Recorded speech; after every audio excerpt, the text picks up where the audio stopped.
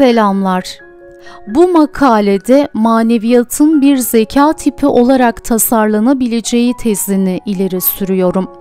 Birbiriyle ilişkili bir takım yetenek ve marifetler maneviyatın kanıtı olarak telakki edilmiştir. Zeka ile maneviyat arasındaki örtüşmeyi ciddi olarak düşünmenin daha önce ihmal edilmiş olan teorik ve pratik bölünmeleri giderebileceğini iddia ediyorum. Bir manevi zeka çatısı hem din ve maneviyat psikolojisindeki çok farklı araştırma bulgularını bütünleştirme hem de davranışın manevi temellerine taze keşifler kazandıran yeni araştırmalar üretme potansiyeline sahiptir. Maneviyat ile dindarlığın birçok anlamı son zamanlarda etkin teorik ve empirik araştırmanın odağı haline gelmeye başlamıştır. Aynı zamanda din psikolojisinde ortaya çıkan eğilimler hayatta başarılı olmanın fiziksel sağlık, psikolojik iyilik ve evlilikle ilgili memnuniyet ve istikrar gibi yaygın ölçütleriyle ilişkili olan manevi inanç bağlanma ve uygulamaları içeren uyum sağlayıcı işlevselliğin etkileyici fakat henüz bütünleştirilmemiş bir dökümünü sağlamıştır. Bu farklı literatürü birleştirme potansiyeli bulunan bir kavram önemli bir bütünleştirici işlev hizmeti görebilecektir. Manevi zeka böylesi bir bütünleştirici kavram olabilir. Maneviyat nihai ilginin kişisel ifadesidir. Tilik en geniş ve en kapsamlı anlamda dinin özünün nihai olarak ilgili olma durumu olduğunu, yani insan güdüsünde benzeri bulunmayan bir tutkuya, bir sonsuz tutkusuna sahip olma olduğunu savunmuştur. Din öncelikli olarak bütün diğer ilgileri niteleyen ve hayatımızın anlamına ilişkin sorunun cevabını bizzat ihtiva eden bir ilgi, bir nihai ilgi ile kavramış olma durumudur. Aynı şekilde Hezhel'de Tanrı'yı arayışı nihai olanın aranışı olarak tanımlamıştır. Alport ise olgun dini duyguyu kişinin kendi hayatında nihai derecede önemli gördüğü ve eşyanın tabiatında sürekli veya merkezi kabul ettiği amaç ve ilkelere uygun şekilde karşılık verdiği bir yatkınlık olarak nitelemiştir. Maneviyat nihai ve kişisel hakikatleri ilgilendirir şeklinde de tanımlanmakta ve kişinin nasıl hayatını nihai olanla anlamlı hale getireceğine ve kainatın en derin hakikatlerine karşılık vereceğine işaret etmektedir. Son kitabımda nihai ilginin bireysel hedeflere, amaçlara yönelik çabalardaki mevcudiyetinin incelenmesine hasredilmiş bir araştırma programı tasarladım. Kişisel çabalar insanların genellikle yapmaya çalıştıkları şeyi yani hedef takiplerinin imzasını simgeler. Din ile hedefler arasında yakın bir ilişki bulunmaktadır. Dini inanç sisteminin ve dini dünya görüşünün işlevlerinden biri en ciddi ve en kapsamlı hedeflerin gerçekleşmesini mümkün kılabilecek bir rehber sağlayarak insanların hayatlarında niçin çaba göstermeleri gerekebileceğine dair nihai bir vizyon temin etmesidir. Manevi gelişimi mecazi olarak tasvir etmek için hedef dili kullanımının uzun bir tarihi bulunmaktadır. İbadetle ilgili metinlerde manevi gelişim ve manevi olgunluk nihai hedefin kutsal ile iç içe olması dolayısıyla hedefe ulaşma süreçleri olarak görülmektedir. Bu nedenle kutsal kişinin hayatındaki nihai ilgileri şekillendiren ve yönlendiren nihai ilgidir. Öyleyse kutsala odaklanmış kişisel hedefler olarak manevi çabalar insanların hayatlarında karşılaşmış oldukları nihai ilgileri içeren bir yol haline gelir. Nihai ilgiler güdülenme, maneviyat ve zekayı bağlayan köprülerdir. Kişisel çaba yaklaşımı köklerini bilişsel kişilik teorisinde bulur. Kişiliğe bilişsel güdüsel yaklaşımın temel varsayımları şöyledir.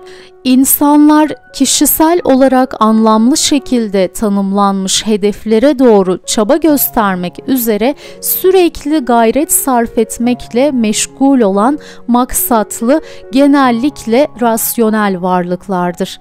Bu hedefler bunların dışa vurumunu, tezahürünü durumdan duruma ve zaman içerisinde şekillendiren kültürel talepler ve durumsal davranış kabiliyetleri ile birlikte güdü eğilimleri ve temel ihtiyaçlar gibi içsel eğilimlerin bir işlevi olarak ortaya çıkarlar.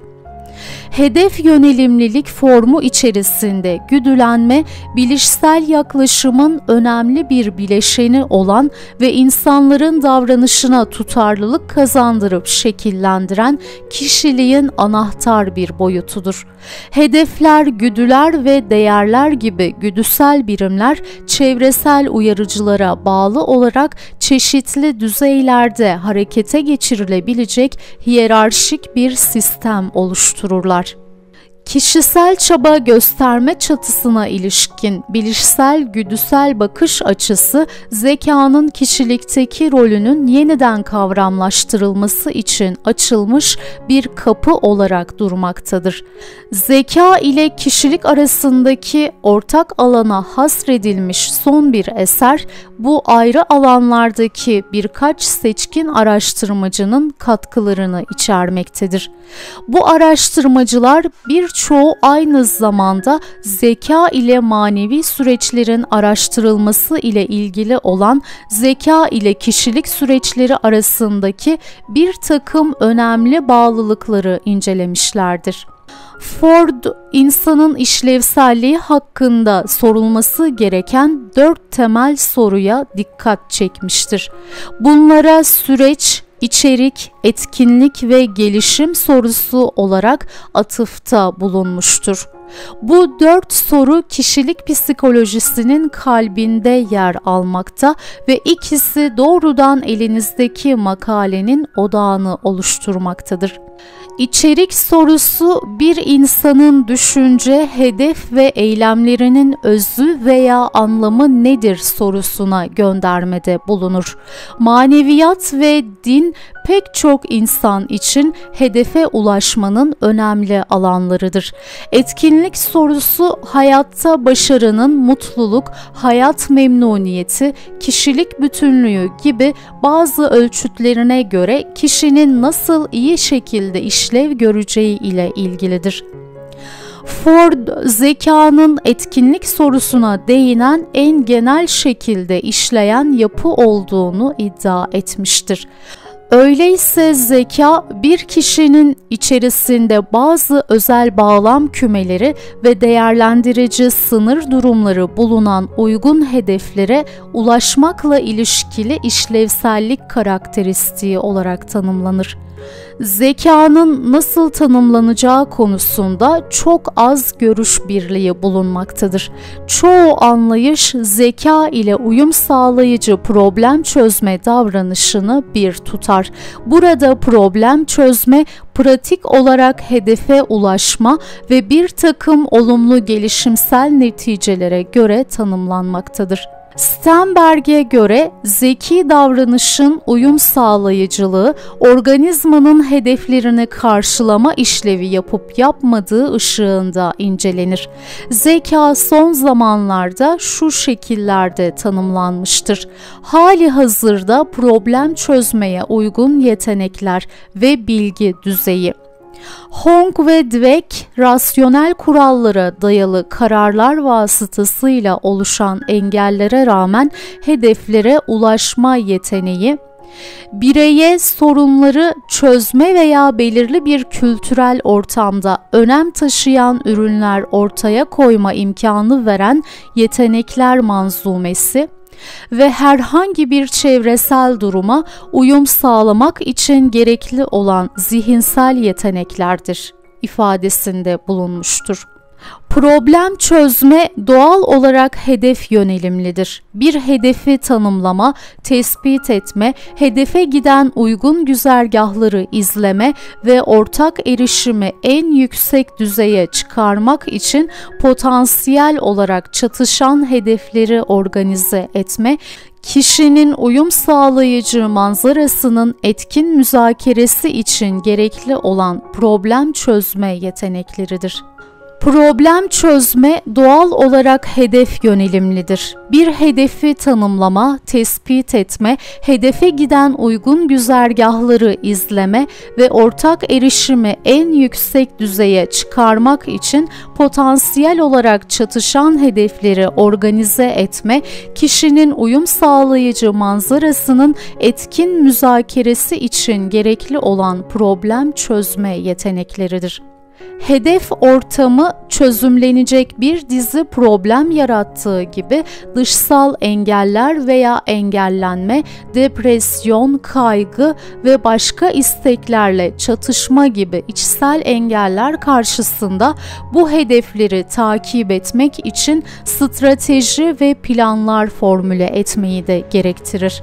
Mesela Tanrı'nın razı olacağı bir hayatı yaşamanın nihai ilgisi, Tanrı'nın razı olacağı bir hayat tarzını seçmeyi ve bağlanmayı, Tanrı'nın razı olmayacağını seçme ve bağlanmadan kaçınmayı ve engellenmeler, vesveseler ve bu tür ölçülü ve sorumlu bir hayat yaşamaya çalışırken böylesi çabaları desteklemeyen bir çevrede kaçınılmaz olarak vuku bulacak aksiliklerin üstesinden gelmek için içsel nefis terbiyesi mekanizmalarını gerektirir.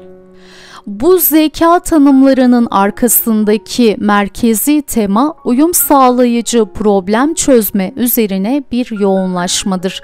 Diğer önemli temalar uyum sağlayıcı işlevselliği oluşturan ve uyum sağlayıcı şekilde işlev görmeyi gerektiren konulardır. Dweck uyum sağlayıcı işlevselliği uyum sağlayıcı olmayanından ayırt etmek için 3 ölçüt dizisi sıralamıştır. Birincisi uyum sağlayıcı yapı hedef çatışması ihtimalini asgariye indirmelidir. Rekabet halindeki hedefler etkili işlevselliği tehlikeye düşürür ve psikolojik fiziksel stresin önemli bir kaynağıdır. Tanrı'nın razı olacağı bir hayatı yaşama hedefi kendine hizmet etme hedefleriyle kolayca çatışabilir.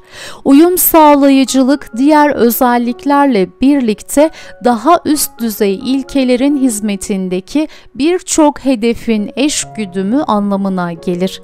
Uyum sağlayıcı bir yapının ikinci ölçütü hedefe ulaşma ihtimalini arttırması olmalıdır. Üçüncüsü uyum sağlayıcı bir yapı bireye mevcut bilgiyi azami düzeyde etkin olarak kullanma imkanı vermelidir. Ford etkin işlevsellik için dört ön şart sıralamıştır. Hedefe yönelik eylemin içeriğini belirleyen güdülenme, hedeflere yönelik eylemin arzu edilen sonuçlarını üreten yetenekler, güdü ve yetenek bileşenlerini destekleyen biyolojik yapı ve hedefe giden süreci kolaylaştıran veya en azından engellemeyen destekleyici çevre. Şu halde zeki davranış, biyolojik ve davranışsal kabiliyetleri hedefe ulaşmayı kolaylaştırmak veya en azından imkan tanımak için gereken bilgisel ve maddi niteliklere ve kaynaklara sahip bir çevreyle uygun etkileşimleri destekleyen güdülenmiş, yetenekli bir kişiyi gerektirir. Belirli alanlar kapsamındaki zeka şunlarla açığa çıkarılır. Geniş ve derin bilgi, iş başarıları, kendiliğindenlik veya iş yapma kolaylığı, güç şartlarda ustaca icraat, üretici esneklik, öğrenme hızı ve gelişimsel değişim. En etkili ve en yaygın zeka teorilerinden biri Gardner'ın çoklu zeka teorisidir. Gardner'ın teorisi son zamanlarda moda olan yegane zeka yaklaşımı değildir. Ancak ben bu teoriyi burada üç ana nedenden dolayı tercih ettim psikologlar, eğitimciler ve halk arasında revaçta olması ve bilinmesi. Gardner'ın zeka türünü değerlendirmek için belirlediği geniş kapsamlı ölçütlerin bulunması ve çoklu zeka teorisi konusunda yayınlanmış makalelerinde Gardner'ın maneviyatın esaslarını bir zeka gibi dikkate alması. Yukarıda ifade edildiği üzere zekayı sorunları çözmek ve belirli bir kültürel ortam veya topluluk içerisinde değer taşıyan ürünler ortaya koymak için kullanılan bir takım beceriler olarak tanımlamaktadır. Gardner görece özerk toplam 8 entelektüel kapasite varsaymıştır. Bunlar her insanda fıtri doğal potansiyeller olarak olarak mevcutturlar. Ancak genetik olarak bireysel yeteneklere ve gelişim potansiyeline göre farklılık gösterirler. Bu 8 farklı zeka çeşidi şunlardır dil, mantık, matematik, mekan, müzik, beden, kinestetik, kişiler arası, içsel ve doğaya dönük zeka.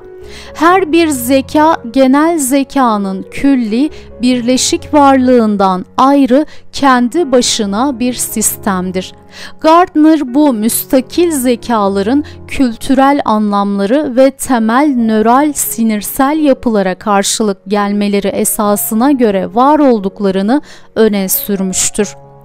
Gardner bu müstakil hesap veya bilgi işlem sistemlerinin mevcudiyetine ilişkin kanıtlar sunmakta ve kültürlerin kendi üyeleri içerisinde belirli becerilerin gelişimini en üst düzeye çıkarmak için farklı durumlara göre düzenleme yapmalarını önermektedir.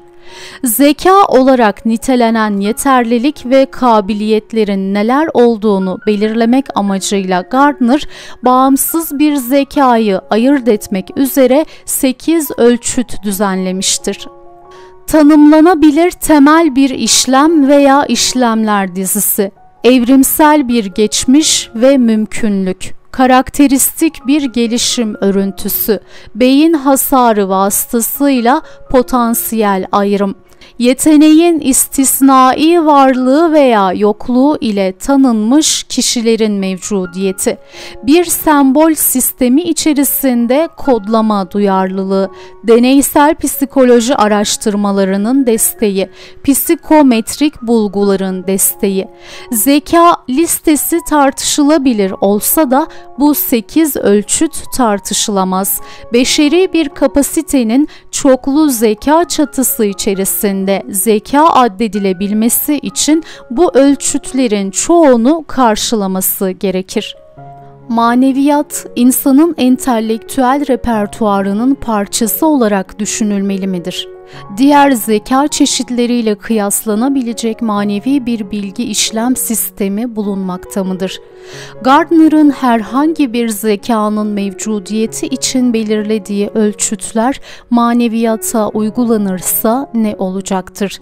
Ben 8 ölçüte oldukça uygunluk gösteren birbiriyle ilişkili bir yetenek ve marifetler manzumesi olarak maneviyata meşru bir zemin oluşturulabileceğini iddia ediyorum. Sınırlı bir maneviyat tanımının Gardner'ı maneviyatı bir zeka çeşidi olarak düşünme ihtimalinden zamanından önce vazgeçmeye zorladığı izlenimini edindim. Zeka ve maneviyat kavramlarının çekiciliği göz önünde bulundurulursa empirik verilerin tarafsız bir şekilde incelenmesi teminat altına alınmış olacaktır. Manevi zekayı Gardner'ın ölçütlerine göre incelemeye girişmeden önce manevi zekayı oluşturan şeyin mahiyetini ayrıntılarıyla anlatmak gerekmektedir. Çoklu zeka ile ilgili yazılarında Gardner maneviyatın zeka çeşitlerinden biri olmadığını açıkça ifade etmiştir. Mesela asla öyle yapmamama rağmen bana ne kadar sıkça bir manevi zeka varsaymam söylendiğini tek tek sıralayamam ve doğrusu bu ihtimali hem sözlü hem de yazılı olarak açıkça reddettim. Bundan bir yıl önceki bir makalesinde Gardner maneviyatın zeka listesine eklenmek için uygun olup olmadığının aşırı olmayan psikoloji çevrelerinde tartışılmasını ve araştırılmasını istemiştir. Gardner Sıra Dışı Zihinler adlı kitabının bölümlerini manevi sıra dışılık ve ahlaki sıra dışılık konularına hasretmiştir karizmatik manevi liderlerin, örneğin Mahatma Gandhi'nin, Martin Luther King'in diğer insanlar üzerinde bıraktıkları çeşitli güçlü etki örneklerinin yanı sıra bedeli kendileri için ne kadar büyük olursa olsun kişisel amaçlarını daha yüce amaçlar uğruna feda eden sıra dışı ahlak örneklerine de dikkat çekmiştir. Maneviyat Gardner'ın zeka için belirlediği ölçütleri karşılamakta mıdır? Diğer anlamlarına ilaveten maneviyatı belirli yetenek ve marifetleri kapsayan bir manzume olarak düşünmek yararlı olacaktır. Öyleyse maneviyat uyum sağlayıcı, bilişsel güdüsel terimlerle kavramsallaştırılabilir ve esasında günlük hayat şartlarıyla ilgili çeşitli sorun çözme becerilerinin temelini oluşturabilir. Bu pragmatik yaklaşım maneviyata manevi zihin hallerinin her nasılsa başka bir varoluş düzleminde fenomenolojik olarak geçerli ancak somut hayat şartlarında sorun çözme ve amaca ulaşmayla çok az alakası olan bir varoluş durumu oldukları şeklindeki yanlış kanaate karşı koyabilecek bir bakış açısı sunar. Ancak bu muhakeme silsilesini devam ettirmeden önce bir uyarı kaydı konulması gerekir. Aşağıdaki önemli noktada yanlış anlaşılmak istemem maneviyatı bir zeka olarak görmek, onun problem çözmeden daha fazla bir şey olmadığı ya da bireylerin günlük hayatın sorunlarını aşmak için sırf maneviyatlarını kullandıkları anlamına gelmez. Bu hatalı çıkarıma atlamak din psikolojisinde büyük bir yanlış anlamaya yol açacak sırf saçma bir karara varma örneği olacaktır. Maneviyat kolay tarife, basit ölçüme veya başka bir şahsın hayatında hemen teşhise gelemeyen fevkalade zengin ve farklı bir kavramdır. Benim tezim iki boyutludur zeka ile ilgili, maneviyat ile ilişkili bir takım yetenek ve marifetler mevcuttur. Ve bu yeteneklerdeki bireysel farklılıklar kişinin öz niteliklerini oluştururlar. Ben maneviyatın zekaya veya bir takım bilişsel yetenek ve kabiliyetlere indirgenebileceğini de iddia etmiyorum.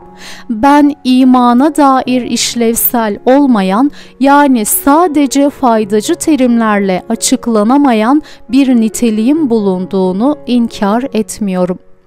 Bir uzman bilgi tabanı çevreye uyumu kolaylaştıran belirli bir müstakil alan içerisindeki bilgi birikimidir. Manevi zeka kişinin uzman bilgisinin bir parçası olabilen bir takım yetenek ve yeterliliklerden oluşur. Manevi bilgi kişinin uyum sağlayıcı problem çözme davranışına yol gösterebilen bilgi tabanının bir parçasıdır. Mesela manevi oluşum tamamen kutsala ilişkin bir uzman bilgi tabanı bilgisi inşa etme ile ilgilidir. Maneviyat bireylere bir bilgi kaynağı ve ilgi alakaların bir işlevi olarak hizmet edebilir. Bireyler bu bilgi sürecinde az ya da çok maharetli hale gelir. Mesela kutsal metin incelemeleri ve manevi eğitim uygulamaları sayesinde sayesinde manevi bilgi tabanının derinliği ve genişliği gelişir ve saflaşır. Dinler bireylere iyi bir hayat yaşamak için gereken kaynakları temin eden bilgi sistemleri olarak tanımlanmıştır. Keza Mayer ve Michel de dini hayat meselelerine özellikle ahlak alanındakilere çözümler oluşturmak üzere bir çerçeve veya uygun bir zemin sağlayan duygu temelli kurallar sistemi olarak tasvir etmişlerdir manevi zekayı tanımlayan en az 5 temel yetenek bulunmaktadır. Bu yetenekler bilinen bütün kültürlerde olmasa da çoğu kültürde değerli kabul edilmişlerdir. Bazı kültürler bazı yeteneklere diğerlerinden daha fazla değer verecektir. Bu 5 yeteneğin 5 ve yalnız 5 olması anlamında kutsal dinsel olduğu konusunda ne herhangi bir şey mevcuttur ve ne de ben onları önceden kararlaştırılmış herhangi bir sıra içerisinde sunuyorum manevi zeka sahibi bireyler en azından şunlarla nitelendirilir.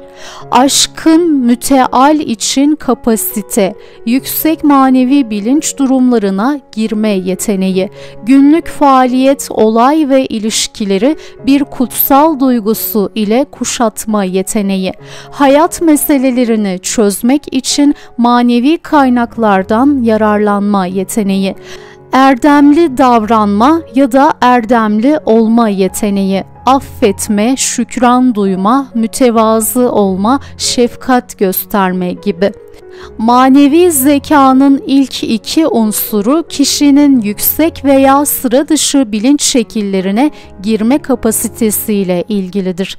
Aşkınlık fizikselliğin olağan sınırlarının üzerine çıkma ya da ötesine geçme anlamına gelir aşkınlık ilahi bir varlıkla ilişki kurmak için doğal dünyamızın üzerine yükselmeyi ifade edebilir ya da kendi yüksek farkındalığımızı sağlamak için fiziksel durumumuzun ötesine geçmeye atıfta bulunabilir. Aşkınlık temaları maneviyat tanımlarında belirgin şekilde rol oynar. Maneviyat aşkın bir boyutun farkındalığı ile ortaya çıkan ve benliğe, ötekilere, tabiata, hayata ve kişinin nihai olduğunu düşündüğü şeylere ilişkin tanımlanabilir belirli değerlerle nitelendirilen varoluş ve tecrübe ediş tarzıdır.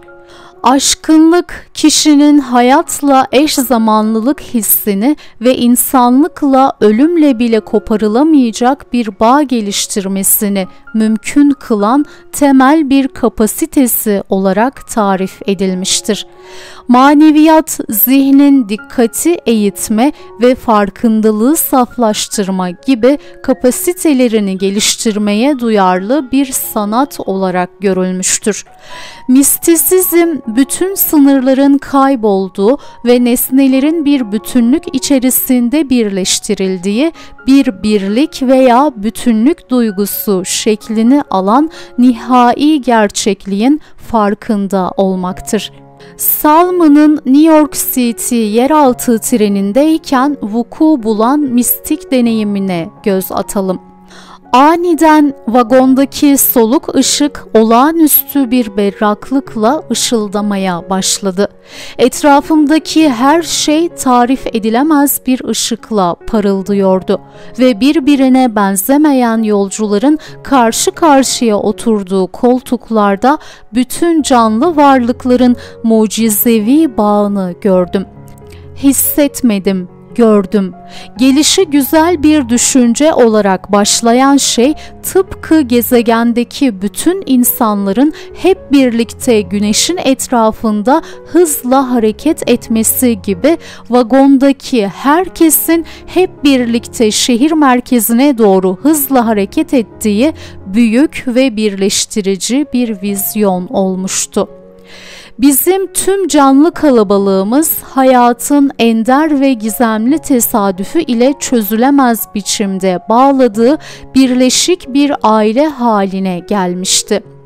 Bizim tüm canlı kalabalığımız hayatın ender ve gizemli tesadüfü ile çözülemez biçimde bağladığı birleşik bir aile haline gelmişti sayısız yüzeysel farklılıklarımızın önemi bulunmuyordu. İleriye ve geriye sonsuzca uzanan muhtemel anlar dışında sadece şu anda yaşıyor olmamız nedeniyle hepimiz eşitiz, hepimiz biriz. Bu vizyon içimi bütün insanlığa karşı önüne geçilemez bir sevgiyle ve hayatlarımız ne kadar eksik ve kusurlu olursa olursa olsun yaşadığımız için çok talihli olduğumuz hissiyle doldurdu. Manevi zeka sahibi bireyler tefekkürü ibadet gibi diğer manevi hallerin yanı sıra bu tür bilinç hallerine girmeye özellikle yatkın olabilirler mistik tecrübe konusunda hatırı sayılır ölçüde empirik araştırmalar yapılmıştır törensel dini ritüellerden doğan birleştirici manevi deneyimlerin toplumsal öneminin yanı sıra bireysel meditasyonun fizyolojik faydalarından da bahsedilmiştir. Kutsallaştırma manevi zekanın üçüncü unsurunu içermektedir. Kutsamak özel, kutsal veya ilahi bir amaç için tahsis etmektir. Olağan faaliyetlerde kutsalın varlığının tasdiki bütün büyük dünya dinlerinde manevi bilişin bir boyutudur. Çağdaş araştırmalar bu kutsallaştırma sürecinin önemli sonuçları olduğunu belgelemektedir. Çalışma bir görevden ziyade bir çağrı olarak anlaşıldığında veya ebeveynlik kutsal bir sorumluluk olarak görüldüğünde sırf seküler kavramlarla düşünüldüğünden daha farklı faaliyetler bile manevi anlamla doldurulabilecektir. Ateş Arabaları filminde Erik koştuğumda Tanrı'nın rızasını hissediyorum ifşaatında bulunduğunda koşmanın daha derin anlamını yankılamaktadır. Dini kutsallaştırma, benlik, aile, yuva, meslek ve hedefler kutsalla aşılanmış olduğunda gerçekleşir. Mahoney ve arkadaşları evli çiftlerin ilişkilerini ilahi niteliklerle dolu olarak gördüklerinde evliliklerini kutsal bir ışıkta görmeyen çiftlere nazaran daha yüksek evlilik doyumu, daha yapıcı sorun çözme davranışları, azalan evlilik çatışmaları ve ilişkiye daha fazla bağlılık bildirdiklerini tespit etmiştir. Zeka dili içerisindeki sınıflama insanları problemleri çözmeye ve etkin eylem planlamaya ikna etmek için kullanılabilecek uzmanlık olarak görüldüğünde kutsallaştırmaya imkan tanır hayattaki kişisel çabaların bir kutsama süreci sayesinde manevi hale gelebileceği örneklerle ispatlanmıştır. Manevi çabalar insan hayatındaki nihai ilgileri temsil eden kasti niyetli durumlardır. Kutsal duygusuyla doldurulmuş olmaları bu amaçların seküler çabalarda bulunmayan anlamını ve gücünü kazanır. Manevi mücadele örnekleri şöyle hayatım için Allah'ın iradesini seçmek, Kur'an'ın talimatlarını günlük hayata uygulamak, merhametli ve bağışlayıcı olmak, iş arkadaşlarımla İncil'e şevkle katılmak ve Tanrı'ya daha yakın olabilmek için hayatımı odaklamak. Araştırmalar insanların hayatlarını nihai ilgiler etrafında yönlendirdiklerinde bir anlamlılık, tatmin ve kişisel bütünlük duygusu deneyimine eğilimli olduklarına işaret etmektedir hayatın sorunlarını çözmek için manevi kaynakları kullanma yeteneği dini ve manevi başa çıkmayı içermektedir.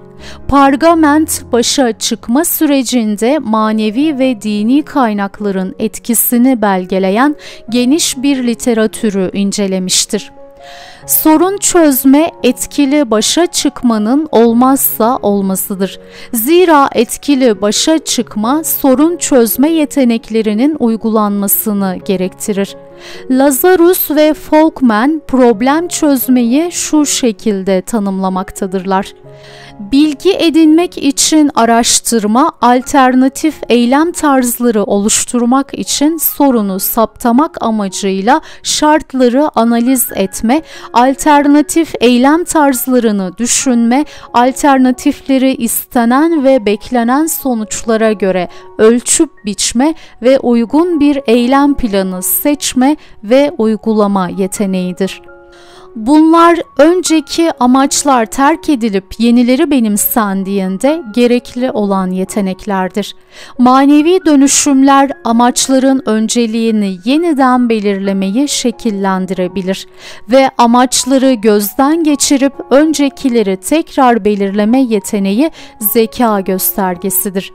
Ayrıca içgüdümlü dindar bireyler daha az dindar olanlara nazaran travmatik strese yol açan durumlarla baş etmede becerili olmaya, travmatik krizlerde anlam bulmaya ve travma sonrasında olgunlaşma deneyimine daha yatkındırlar. Manevi başa çıkmanın bütün şekilleri eşit derecede etkili değildir.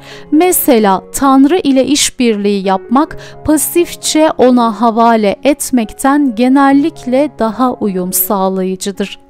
Manevi zekanın beşinci ve son unsuru istikrarlı biçimde erdemli davranışta bulunma kapasitesidir. Bağışlama, şükran duyma, tevazu gösterme, merhametli olma ve özveriyle sevme gibi. Bu listenin kapsamlı olma iddiası bulunmamaktadır. Bu kavramların gerçekte bütün büyük dini geleneklerde belirgin olmaları nedeniyle bu erdemler manevi zeka başlığı altında yer almışlardır. Bu erdemler Aristo'dan günümüze değin beceri olarak düşünülmüşler. Bu nitelikler uygulama ve talimatlarla işlenmeye müsait olarak görülmüşlerdir. Zagzebski erdemleri kişiyi diğer herhangi bir nitelikler kategorisinden daha çok tanımlamaya yaklaşan kişinin kazanılmış mükemmellikleri olarak tanımlar. Erdemler hem nihai ilgileri temsil eden güdülenme ile hem de etkili eylemle bağlantılıdır. Zagzebski erdemleri kişiyi diğer herhangi bir nitelikler kategorisinden daha çok tanımlamaya yaklaşan kişinin kazanılmış mükemmellikleri olarak tanımlar. Erdemler hem nihai ilgileri temsil eden güdülenme ile hem de etkili eylemle bağlantılıdır. Bu içsel nitelikleri erdem olarak görmek, bunların insanların dünyada etkin şekilde işlev görmesine imkan sağlayan beşeri güç kaynakları olmaları demektir. Psikologlar dikkatlerini ahlak felsefecileri ve ilahiyatçıların uzun süreden beri ilgilendikleri bu beşeri güçlerin araştırılmasına çevirmeye başlıyorlar.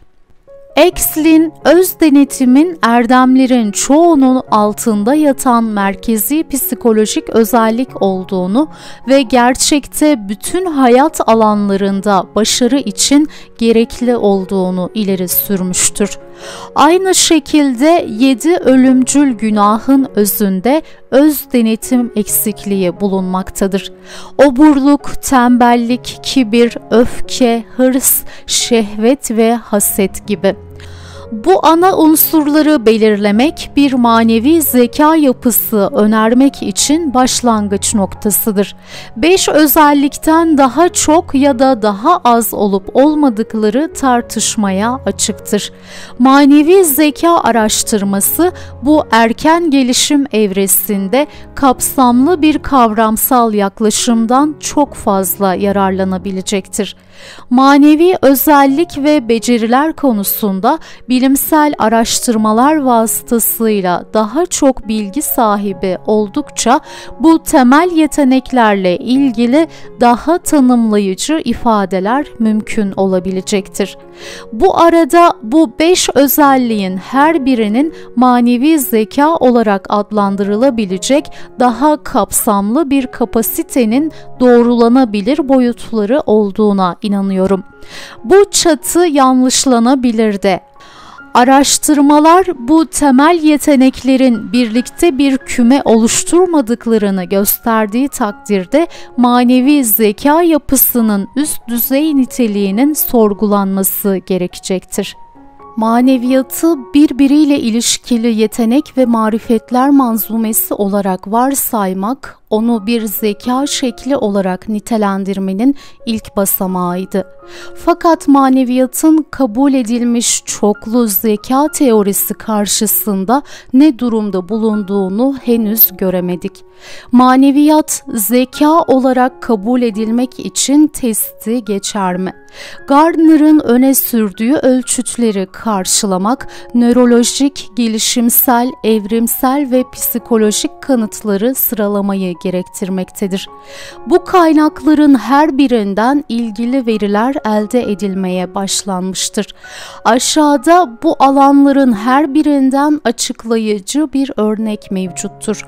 Ben bu zeka tipine giren temel yetenekleri bir araya getirdiğim konusundaki kanaatimi zaten arz etmiştim. Gardner'ın yaklaşımı büyük oranda beyin işlevine dayandığından ben de biyolojik düzeydeki analizlerle başlayacağım. Diğer zeka teorisi herhangi bir zeka tesisi için az çok alternatif ölçütler önermektedirler. Daha önce belirttiğim nedenlerden ötürü çalışma tezgahı olarak Gardner'ın teorisini seçmiş bulunmaktayım. Maneviyat ile dindarlığın biyolojik temeli üç analiz düzleminde incelenebilir. Evrimsel biyoloji, davranış genetiği ve sinir sistemi. Dinin evrimsel açıdan mümkün olduğuna ilişkin iddialar birkaç farklı kesimden biyolog, psikolog, antropolog ve ilahiyatçılar tarafından gelmektedir dinin evrimsel açıdan mümkün olduğuna ilişkin iddialar birkaç farklı kesimden biyolog, psikolog, antropolog ve ilahiyatçılar tarafından gelmektedir. Psikolojik bir bakış açısından evrimsel biyoloji, dini inanç, uygulama ve bağlılıklara bütünleştirici bir çerçeve sağlamak üzere ileri sürülmüştür.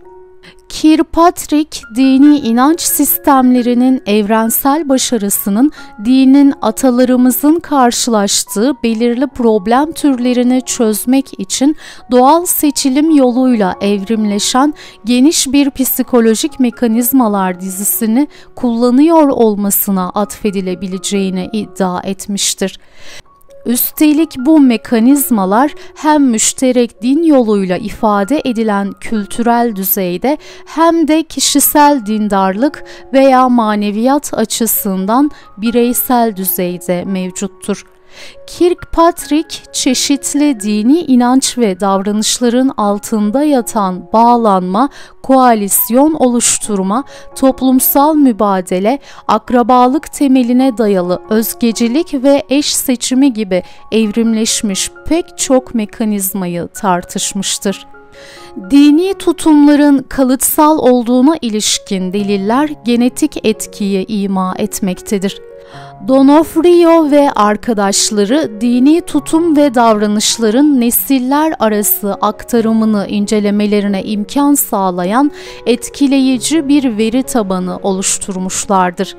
Onlar dini mensubiyetin öncelikle paylaşılan aile çevresi tarafından belirlendiğine, oysa dini tutum özellikle dini tutuculuk ve davranışların az çok genetik faktörlerce etkilendiğine dair kanıtlar bulmuşlardır.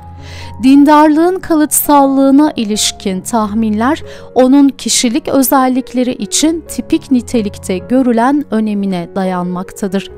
Manevi zeka olarak adlandırdığım şeyin temel unsurlarının kayda değer genetik bir unsura sahip olup olmadıkları belirlenmeyi beklemektedir. Ancak davranış genetiği alanından dindarlığın kalıtsallığına ilişkin olarak elde edilecek ilk veriler manevi zekanın genetik faktörlerle ilişkili olmadığını ortaya çıkarırsa bu şaşırtıcı olacaktır. Bu tür bir genetik bağlantının kişiler arası sorun çözme açısından da imaları olacaktır kişilik ve ayrılma konusunda gerçekleştirilen en geniş çaplı araştırma 11 kişilik özelliği arasında gelenekçiliğin ayrılma riskinin en güçlü negatif göstergesi olduğunu bulmuşlardır. Gelenekçilik dini bağlılık ölçeğiyle ilişkiliydi ve kalıtım yoluyla intikal etmesi de çok muhtemeldi evlilik doyumunun yapıcı sorun çözme ile ilişkili olduğuna dair bulgu hatırlanacak şekilde kişiliğin ayrılma riski konusunda genetik etkinin kanalı gibi rol oynadığı ileri sürülmüştür. Dindarlık tavırlarının kalıtsallığı biyolojinin rolüne işaret etmekte. Fakat ilgili sinirsel mekanizmaları belirlemede yetersiz kalmaktadır. Gelişen sinir bilim alanı sinirsel alt katmanları aydınlatabildiği ölçüde maneviyatın biyolojik temelini anlamamıza da katkıda bulunmaktadır. Gardner'ın özel beyin yapılarının farklı zeka tiplerinin temelini oluşturduğuna ve belirli zeka türlerinin beyin hasarlı hastaları incelemek suretiyle ayırt edilebileceğine inandığını hatırlayalım.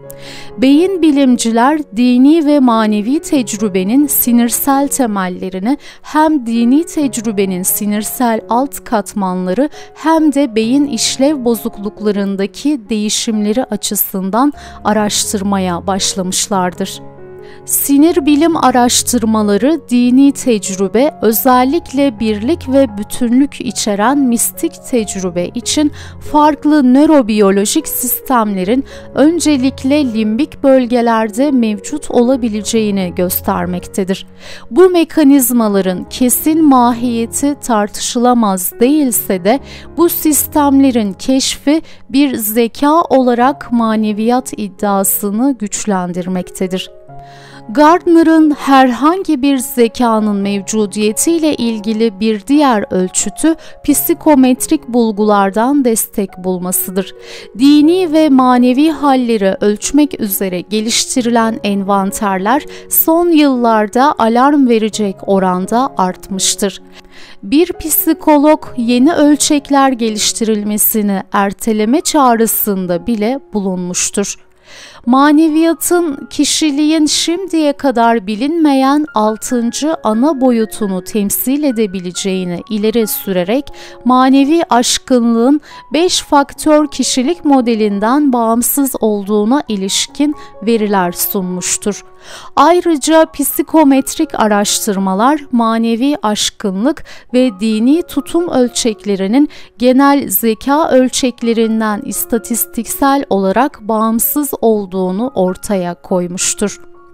kendi başına bir manevi zeka ölçeği mevcut değildir kendini beyana dayanan yeterli bir ölçeğin kolayca oluşturulabileceğinden şüpheliyim. Aksine birinin manevi IQ'sunu hesaplamak oldukça uygunsuz bir girişim olacaktır. Mayer, Caruso ve Salovey'e uyarsak yeteneğe dayalı ölçekler daha ümit verici olacaktır. Önce ölçme çabalarına girişilmiş olsa da ilk olarak kurgunun bilimsel açıdan uygulanabilirliğine ilişkin bir uzlaşma tesis edilmelidir herhangi bir zeka tanımlanabilir bir gelişimsel geçmiş sergilemelidir. Maneviyat bu ölçütü karşılayacak gibi görünmektedir. Evre merkezli inanç gelişim modelleri manevi gelişme ve manevi biliş tarzlarına uyum gösterme kapasitesini niteleyen evrensel aşamalar bulunduğunu ileri sürmektedir. Yetişkinlerin manevi gelişimi son yıllarda güçlü teori ve araştırmaların bir alanı haline gelmiştir aşkın gerçeklikleri kavramak için yaşla bağlantılı bir hazır bulunuşluğun olduğu, bu tür manevi gelişimin genel mi yoksa özel mi olduğu konusunda mevcut olan anlaşmazlıkla kıyaslandığında daha az ihtilaflıdır. Diğer bilgi sistemlerinde olduğu gibi manevi yeteneklerde de acemiden ustaya değişik uzmanlık veya çok yönlülük düzeyleri bulunmaktadır. Zekanın bir başka ölçütü bir sembol sistemi içerisinde kodlama duyarlılığıdır. Bu ölçütün ihtilaflı olması mümkün değildir. Sembol sistemleri dini geleneklerde dilsel ifadelere indirgenemeyen hakikat ve keşifleri, içgörüleri ifade etmede daima önemli bir rol oynamıştır. Dini semboller müminlerin iştirak ettiği bir cemaat içerisinde insanların aşkını, nihai hakikati kavramalarını sağlarlar. Bu nedenle semboller toplumsal olarak inşa edilirler. Dini semboller kendilerini diğer sembollerden ayıran bir güce sahiptir. Onlar bir insanın sahip olabileceği ilgilerin en derini olan meselelerle nihai anlamla ilgilidirler. Ritüelleri, dini kodları, mitik ve totemik sistemleri kişisel zekanın çok önemli yönlerini zapt edip nakleden sembolik kodlar olarak görmüştür. Gardner ritüelleri, dini kodları, mitik ve totemik sistemleri kişisel zekanın çok önemli yönlerini zapt edip nakleden sembolik kodlar olarak görmüştür manevi açıdan istisnai kişilerin varlığı manevi marifetlerin bazı bireylerde son derece gelişmiş olduğunun kanıtı olarak verilebilir.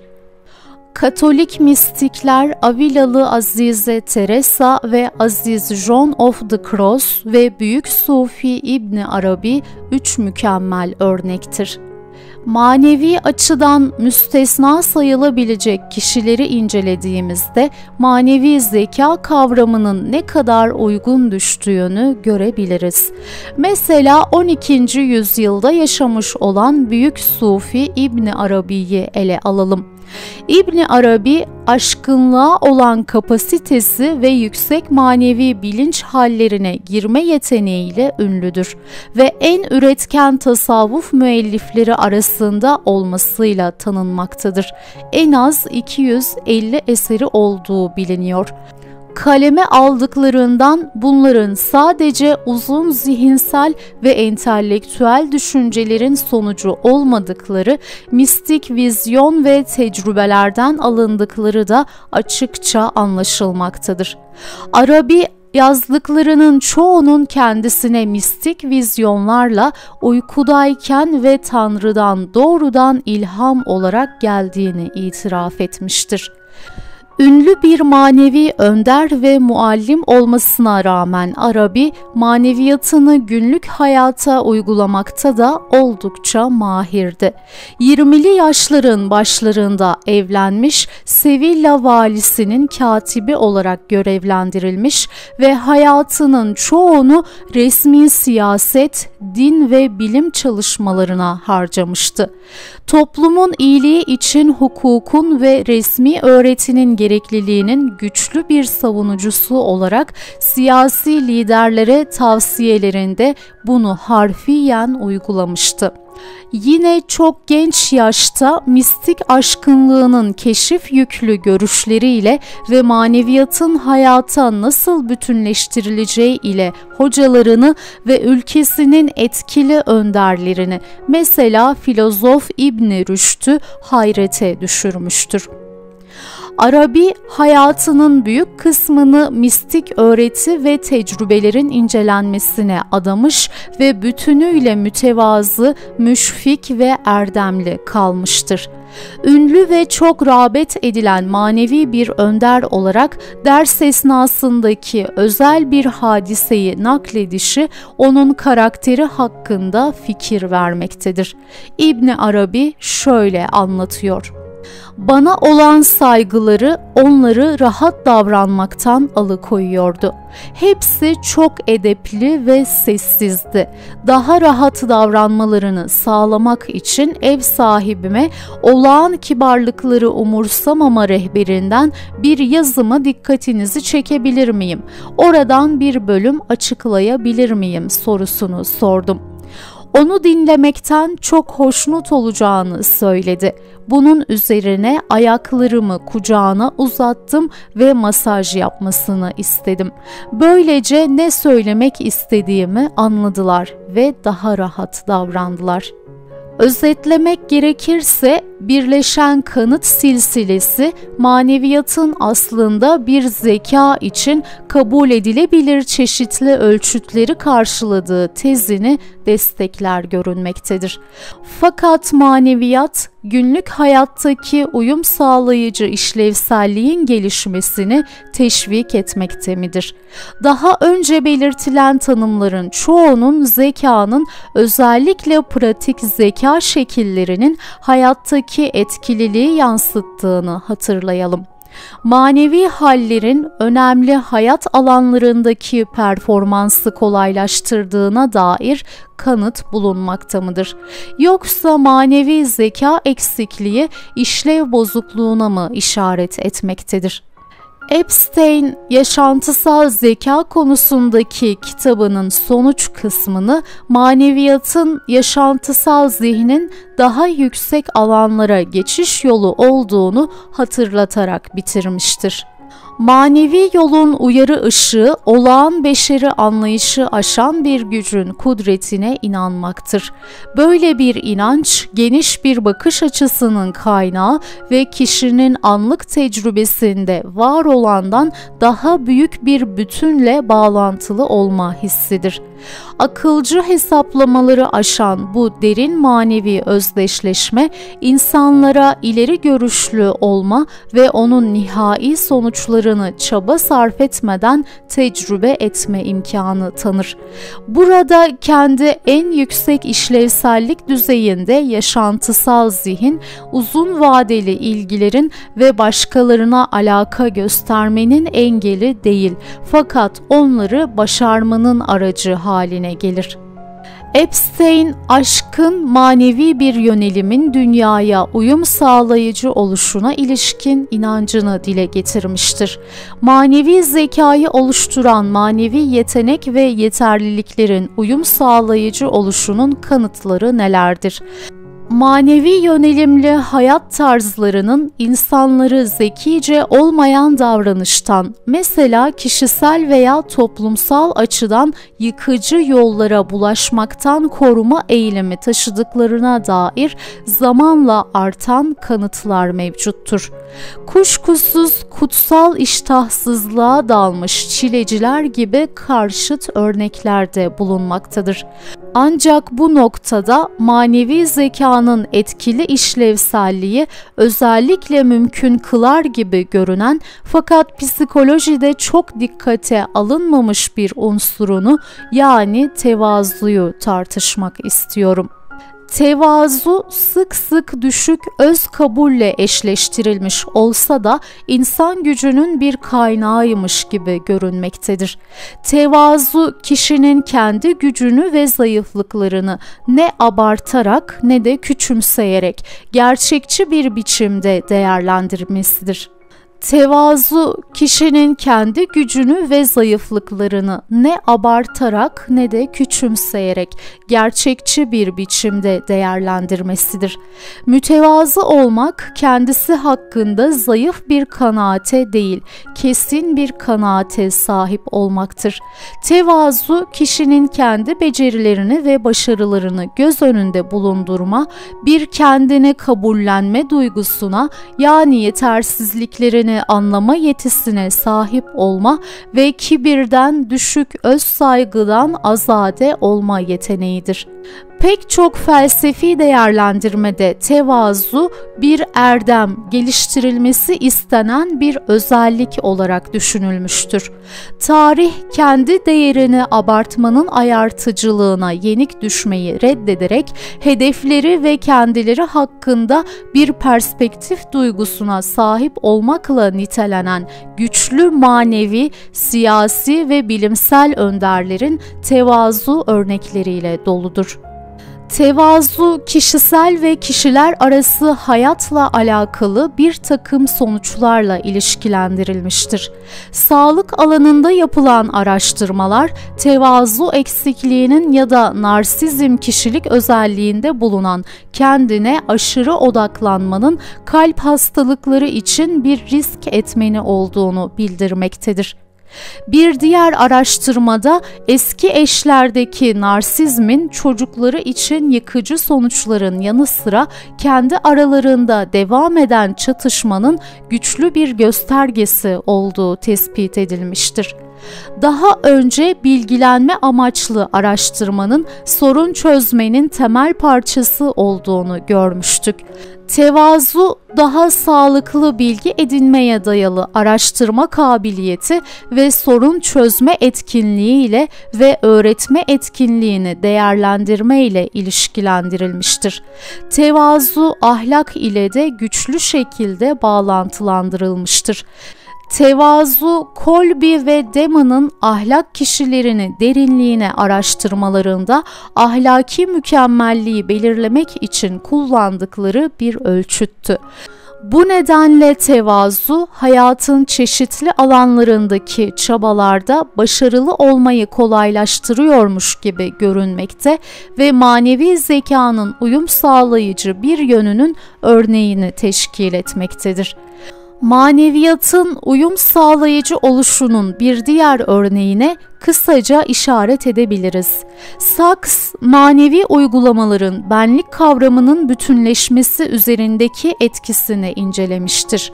50 Cizvit din görevlisi adayından oluşan örneklemde 4 haftalık inziva halinde bir meditasyon döneminin ego gelişim kavramı aracılığıyla ölçülen benlik bütünleşmesinde anlamlı bir artışla sonuçlandığı bulunmuştur uzun vadeli izleme yapılmamış olmasına rağmen 30 günlük uygulamanın bu insanların çatışan benlik tasarımlarını bütünleşmiş bir benlik sistemine kaynaştırma yeteneklerini görünür şekilde arttırmış olduğu ortadaydı başarılı benlik düzenlemesi manevi uygulama ve çabalarla kolaylaşıyormuş gibi görünen vücudun bütününü etkileyen sistemik amaç çatışmasının etkin bir biçimde yönetilmesi becerisini gerektirir.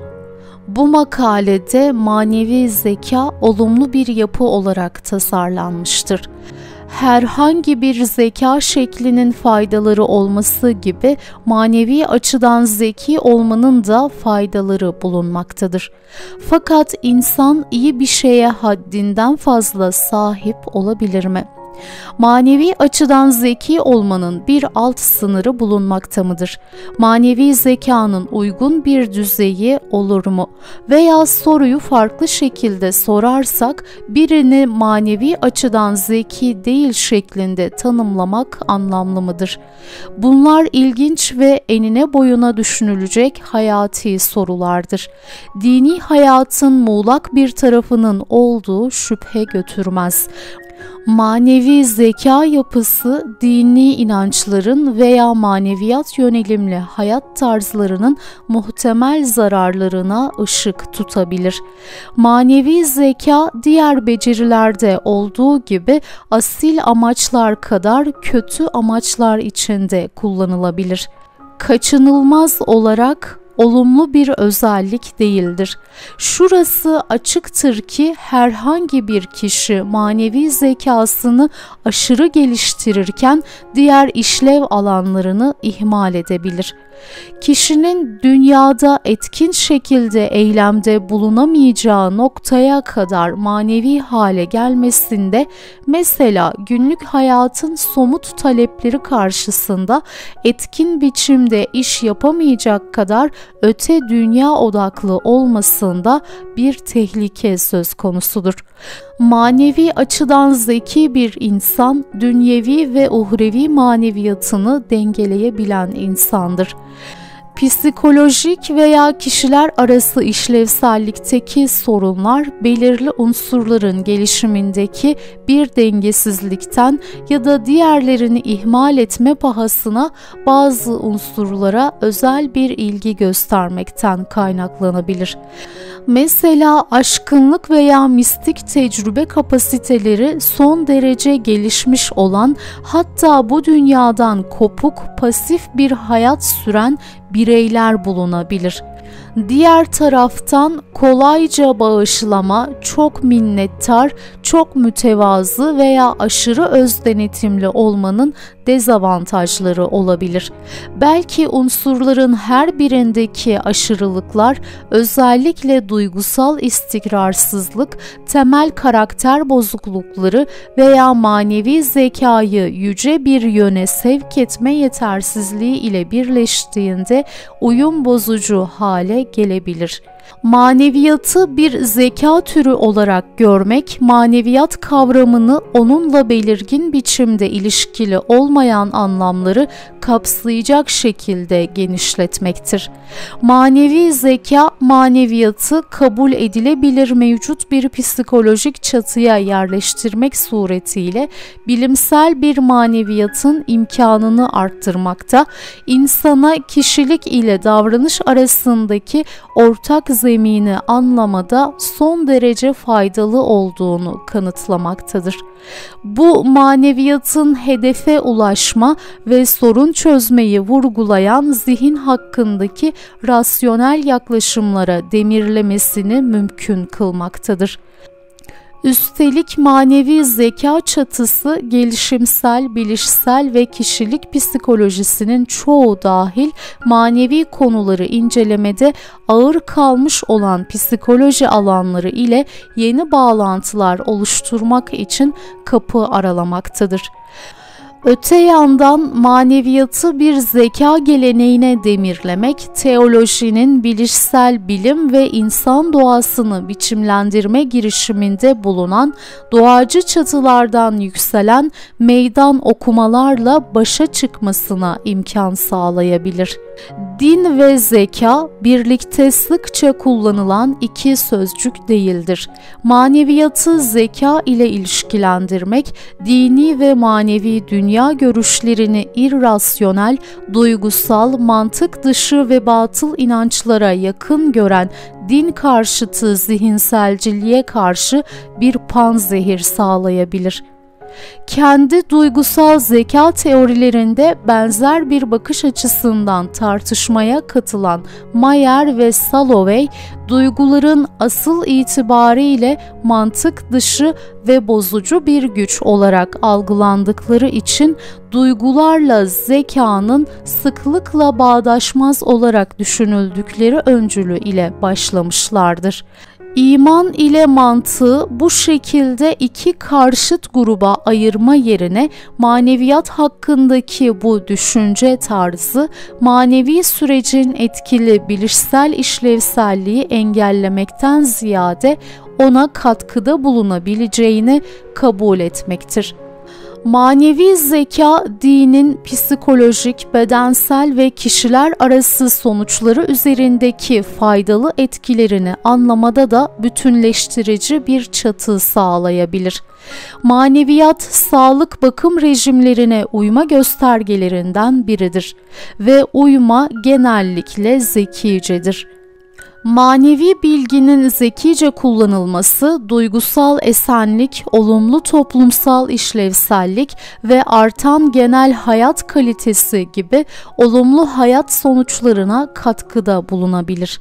Bu işlevsellik alanlarının her biri manevi zeka uygulamasından faydalanacakmış gibi görünmektedir maneviyatı veya dini tanımlayıp ölçerken manevi ve dini değişkenleri edilgen, durağan, kişilik özelliklerine benzer özler olarak düşünmek fazlaca kolaya kaçmaktır. Bu durumda maneviyat ve dindarlık kişinin sahip oldukları veya yaptığı davranışlar haline gelmektedir.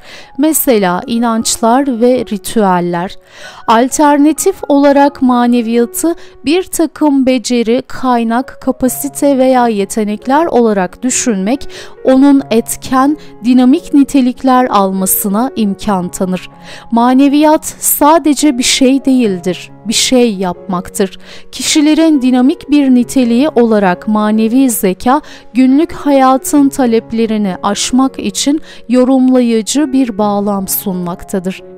Diğer zekalar gibi manevi zeka da farklı kültürlerde farklı biçimde değerlendirilen yetenek ve yeterlilikleri içermektedir. Young ve Stenberg, Taocu ve Konfüçyüsçü Çin kültürlerinde farklı zeka kavramlarını betimlemişlerdir.